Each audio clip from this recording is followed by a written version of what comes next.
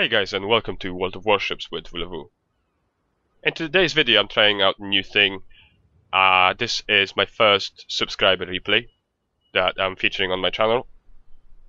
In today's replay uh, we will be watching uh, Wes 101 ABN from the North American server sailing his uh, Derzki Tier 3 uh, Russian destroyer. And before we move on to the battle, my commentary and my feedback to uh, Wes 101, I wanted to give you the skinny on the most important stats of this uh, ship. So, um, first of all, the guns. They're useless. 102 millimeters, and they're basically there just for the show.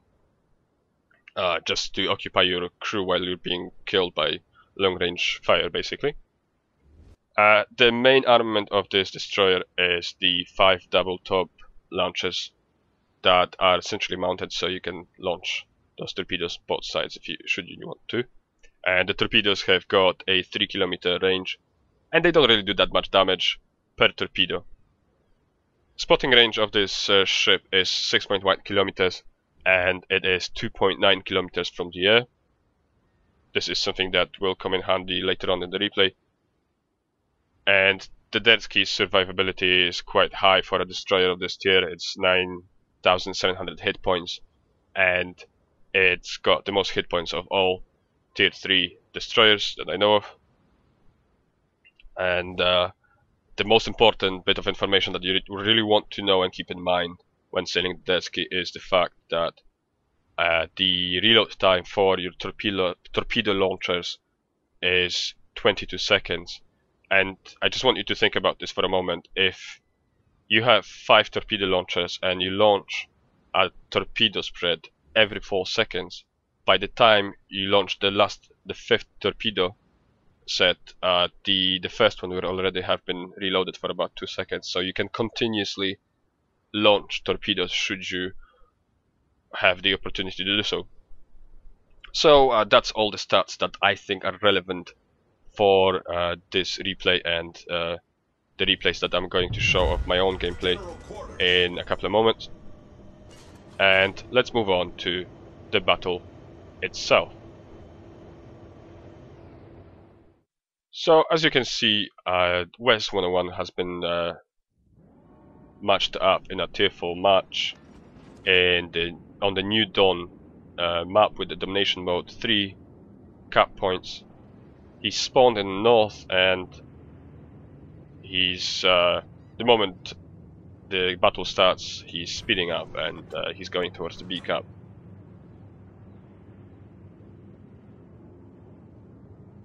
Now I want to uh, do a little disclaimer I always put up videos that have been basically recorded live while, while I was playing them the games so the, the videos I have are usually very smooth and they usually don't have any glitches. But because this is a replay and I was recording it from a replay file the actual footage will be a little bit glitchy. And for this I apologize but there is not nothing I can do. It's it's wargaming uh, and their uh, approach to making replays work for World of Warships. Mostly it will work fine and uh, there will be one or two really visible glitches during during the, the replay itself. So, since I am doing a bit of a commentary on his performance in this battle, I'm definitely going to commend him for uh, making sure that the, the friendly carrier uh, knows that he's sort of out of position. The, the fact that he's communicating with the team is, is really good. And uh, yeah, that is something that you should be doing. And you know, the higher you get in tier, uh, tier for tier, the, the more prevalent it actually is, the more people actually do pay attention to this. So the spotting range from the air is 2.9 kilometers, and those uh, those fighters are hovering out there and spotting, basically uh, spotting his destroyer for the enemy fleet. So uh, the Izyaslav tier 4 the destroyer shows up within the, the gun range and uh, Wes opens up on the Izyaslav. Not do really doing that much. As I said, the guns on this destroyer are crap. They're, they're basically dead for show. I, I really don't see any practical application of these except for, you know, hanging laundry on. Uh, so yeah, so he took two uh, quick volleys towards the Izyaslav, but was quite unsuccessful. There are torpedoes there in the water, so Izyaslav just launched something, and he's circling around uh, this island to have a better approach to attacking this uh, destroyer. There are two friendly cruisers and another uh, destroyer moving in on the B cup, so you know their their presence is quite high here. So you know you you can actually uh, be a bit more bolder when sailing a destroyer if there's such a huge force following you. So he op opens up on the um, enemy Kuma, and again, no damage, nothing to, not nothing noteworthy actually. Um, but he keeps on trying and I really like that. He's uh, changed to AP, but at this angle even the Kuma won't actually bounce it. I guess we'll never find out. And uh, look at the map now. I think this is the moment when Wes notices his chance for his first kill. There's a battleship just to the right behind this island, and it seems that it's either maneuvering or, or almost stationary because, uh, well, that's your only option there if you're in a battleship and you're actually putting yourself between those two islands. So yeah, it looks like he was trying to turn around, but the moment he spotted Wes, uh, the battleship changed its mind, and now you can see, you can tell which side the back guns of this uh, battleship were because he's turning in a way to expose them and actually open up on Wes from all.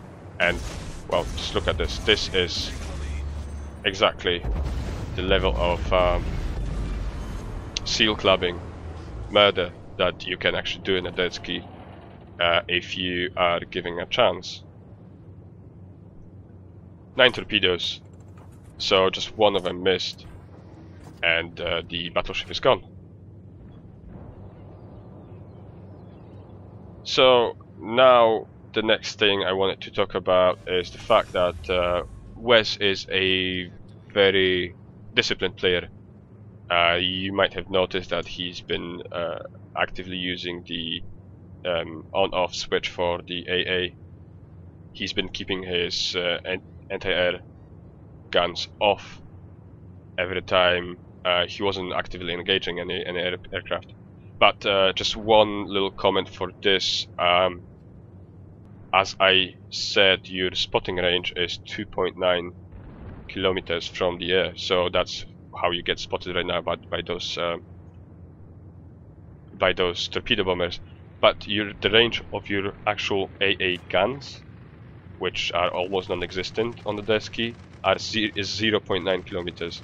So you you really in in many cases it makes sense to switch off the guns on uh, a destroyer if you're sailing a destroyer, but only if you actually know that the AA guns have got a bigger range than your air spotting range. Otherwise, it really does not make sense. You can you can just leave them on and you know not worry about uh, another thing that you have to keep in mind when uh, sailing your destroyer. So yeah, just you know a lesson for Wes and for anyone who's sailing those low tier destroyers.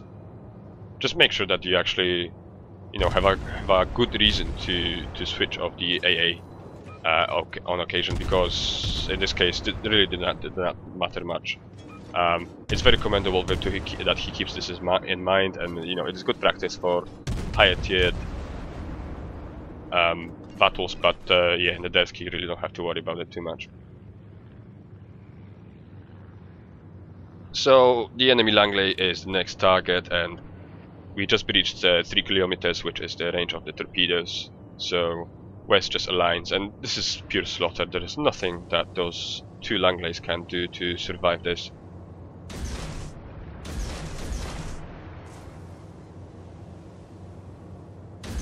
Uh, so yeah, it's just a matter of time.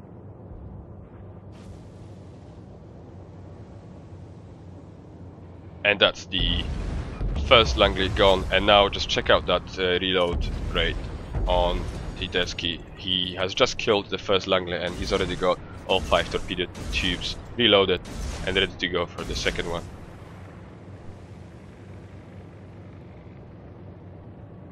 And that's his uh, replay finished. So let's move on to uh, Wes's uh, post-battle result screens. In those couple of minutes, Wes has managed to uh, land 21 torpedo hits. He killed uh, three enemy ships, uh, two carriers, and a battleship, and only managed to land uh, 19 gun hits, which, you know, from my perspective, is 19 too many. You're basically wasting your time if you if you want to use guns, or you if you know if you want to occupy your crew before you die. Well, why not? Let make them make him work.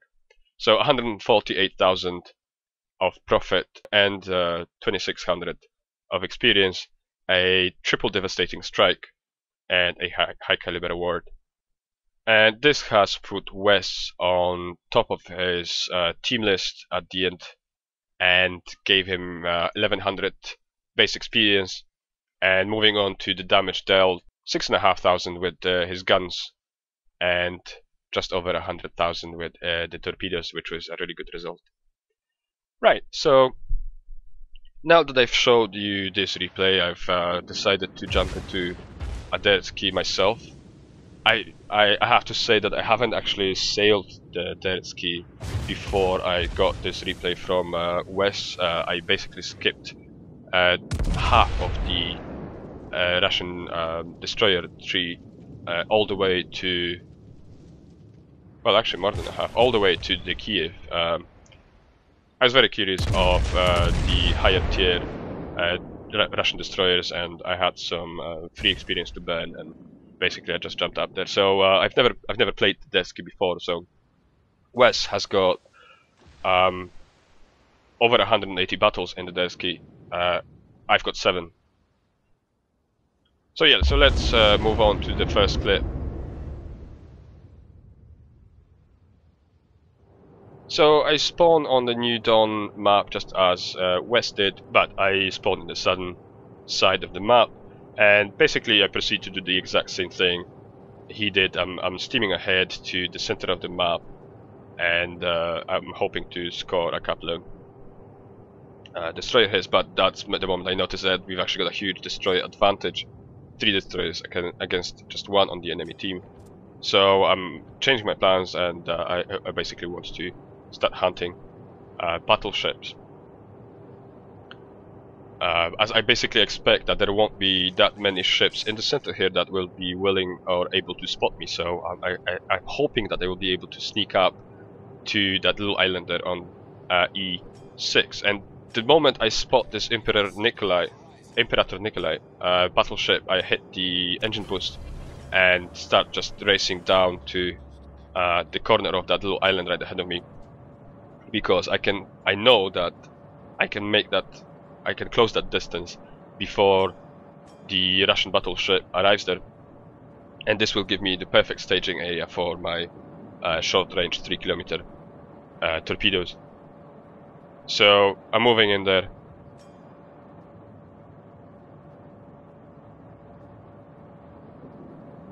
And I'm nearly there and you know, just this is the way I use uh, islands for concealment. Just check out how I'm making sure that there's always enough island between me and that battleship to not get spotted until the last moment. I will get spotted a bit too early here anyway, but uh, yeah, that's 4.8 kilometers 4.6, 4.5.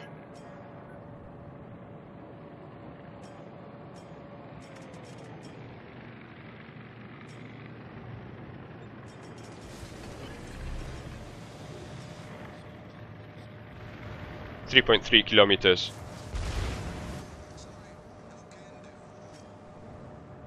3 kilometers. I'm within the torpedo range. And that uh, torpedo bomber squadron above me uh, is why I used smoke, because they know that the torpedo squadron will keep on spotting the ships for me, even when I'm actually completely hidden in smoke. So that's how I actually managed to uh, stop being spotted and see all of the enemy ships still uh, right ahead of me. I, I don't lose vision because of the smoke. And that's how I land my first 8 torpedo hits. And I quickly noticed that I don't really need to move that far. The other uh, Emperor Nikolai uh, battleship has just entered my uh, torpedo range. And my torpedoes, again, are completely reloaded, so I'm ready to go. Uh, the uh, Nikolai disappears, but uh, I basically blind launch those torpedoes. I, am I think I'm on the spot, uh, right on the mark, so yeah. And that's when I get a huge hit from the Emperor Nikolai and uh, yeah, I just speed up very quickly and I try to use this island for cover. And again, uh, by the time I'm already behind cover, I, have already la launched three torpedo spreads just to finish off that battleship. Because reasons, because I can. Basically, that's the insane uh, reload rate of uh, this destroyer.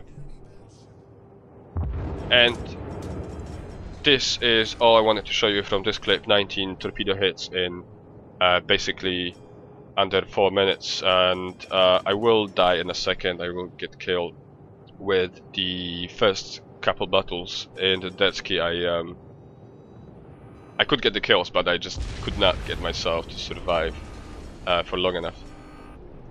So I'm definitely going to skip all this now and uh, move on to my last clip uh, and I will give you a bit more on my way of thinking when uh, sailing this uh, Russian destroyer.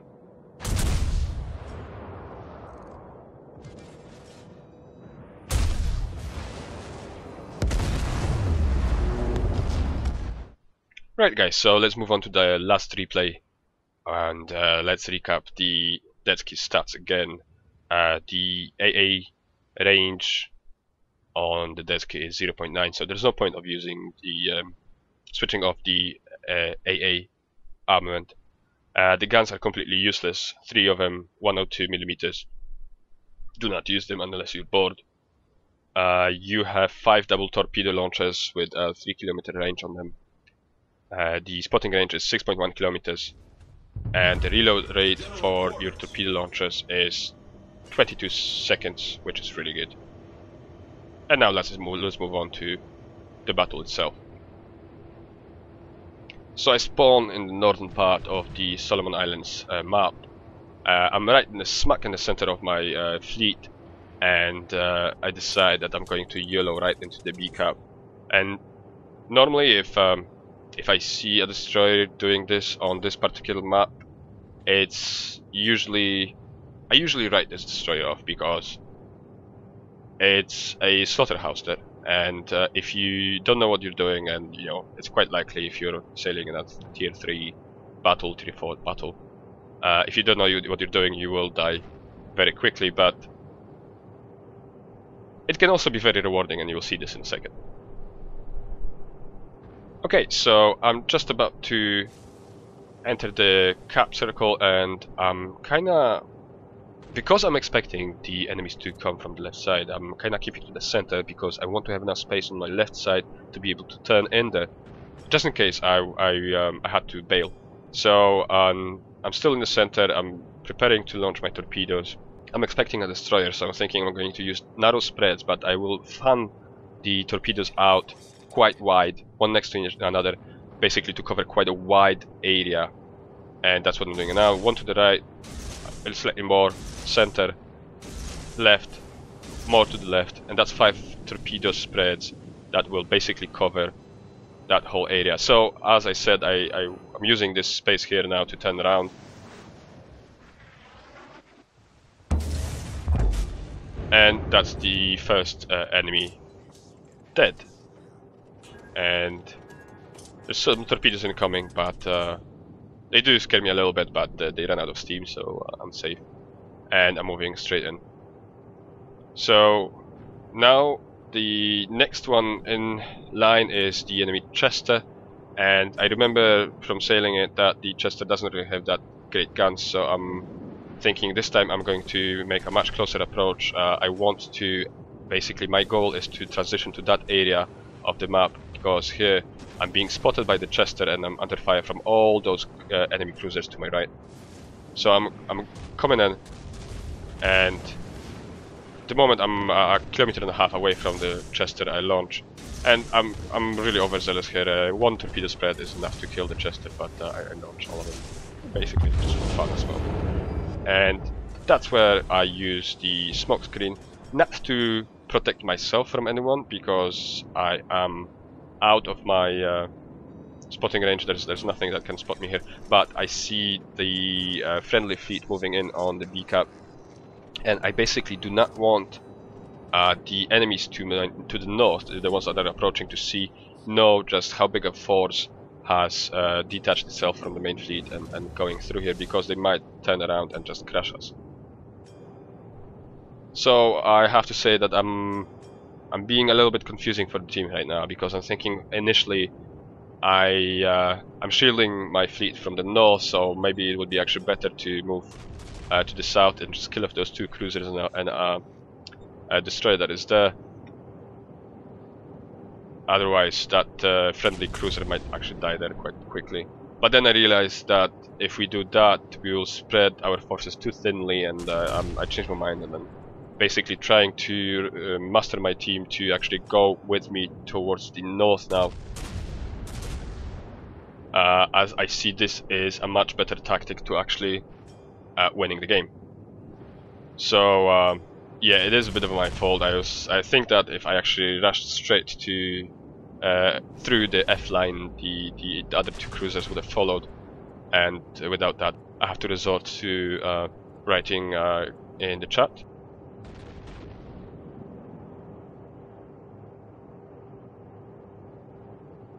I'm hitting the engine boost. I basically need to catch up. My um, general aim right now is to stop bothering that battleship uh, that is lagging behind. And that's when one of the uh, friendly cruisers responds and uh, I know that uh, I can count on him helping me out. I'm thinking that the friendly battleship that has just entered B should actually stay on the far side of this island, uh, support our cruiser and that destroyer near C, but it's it's a bit late now, so but yeah, anyway, uh, this is the moment where I noticed that the South Carolina is uh, steaming straight ahead of me, and that's a tip for you here right now. Uh, don't always stay in your torpedo scope even if your guns are useless because uh, this gun scope is a very useful thing. Just check out. I know now that I'm relatively safe from that uh, South Carolina. The the guns on the South Carolina, the front ones, were facing, were pointing to the front. So he must have been, he must have been aiming at something else there. So I, I was safe basically up until now. Now he's shooting me. And uh, I was uh, free to launch those torpedoes. So just look what I'm doing here. I've, I've launched uh, all of five of my torpedo spreads. And hopefully the South Carolina is going to eat most of them. But this is where I miscalculated my uh, lead and uh, I've launched those torpedoes way too early even though I do that quite often in my videos, actually, I launch my torpedoes uh, outside of my torpedo range. But it's all calculated, and this time I actually miscalculated it. So, uh, the battleship is dead, I popped smoke very quickly to hide, and that's where I noticed the enemy Kolberg, just two and a half, 2.7 kilometers away from me. So I dropped my speed, keep turning, and prepare myself to uh, kill the Kolberg with a very tight um, torpedo launch. All, all of five of my torpedo um, spreads were basically aimed at the same spot. And if it wasn't for the other friendly torpedoes, I'm sure that mine would have killed it. So um, again, that's how you can actually engage enemies with really short range torpedoes right in the middle of a sea. There's no, there was no cover here. All I did was to just go head on, use the fact that the um, battleship was uh, basically aiming at someone else at the beginning. I used the engine boost to um, speed up my approach and uh, kill the battleship and then just use what uh, opportunities were given to me by the developments in the, during the battle and uh, yeah then kill off that uh, cruiser. So as you can see, I'm under fire from the enemy cruisers. The friendly cruiser that promised to come and help me has actually arrived and is taking some of the heat. But I'm doing a really stupid thing here. I don't know why I did that, but uh, I'm, I'm, sailing in a straight line while under direct fire from uh, enemy cruisers and uh, I obviously pay for it with my life. So that's uh, all. Um, that's all of my input to this particular battle.